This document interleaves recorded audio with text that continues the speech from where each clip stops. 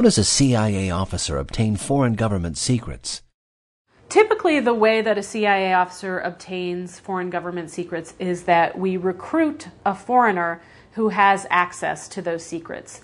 Um, it might be a government official, it might be a journalist, it might be um, a military officer, but someone who is in a position by virtue of their job or their family or um, their status within the society is in a position to have access to information that we otherwise wouldn't get.